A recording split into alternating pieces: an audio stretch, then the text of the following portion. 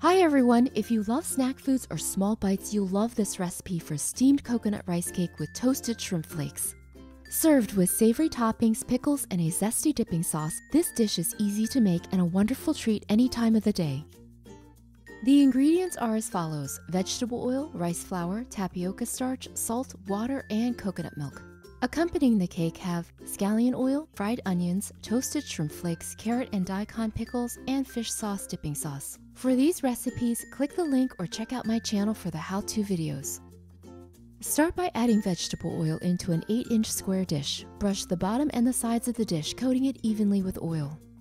In a large bowl, add the rice flour, tapioca starch, salt, room temperature water, and coconut milk. Whisk together until the mixture is smooth and free of lumps.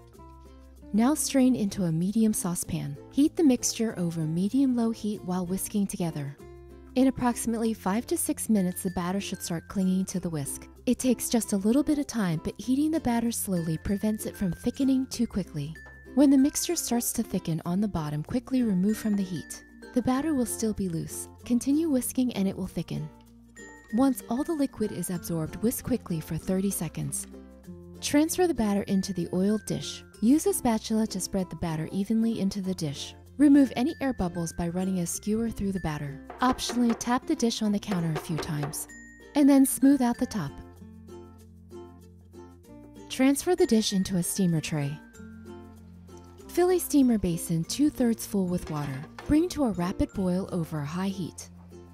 Place the steamer tray on top of the basin and cover with a lid wrapped in a towel. The towel absorbs the moisture so it doesn't drip onto the cake. Steam over high heat for 20 minutes. Once done, remove from the steamer. Let the cake cool for at least half an hour. Run a spatula around the cake to loosen it from the dish. Invert onto a flat surface and then remove the pan.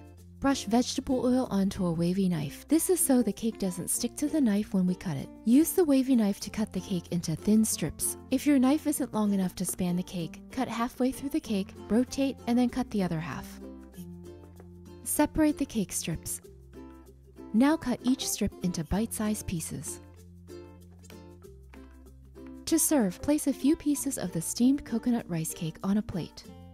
Top the cake with scallion oil, fried onions, and a generous amount of toasted shrimp flakes. Garnish with the carrot and daikon pickles, and then serve with a side of fish sauce dipping sauce. The coconut milk infused cake along with the savory toppings, zesty pickles, and sauce is absolutely heavenly.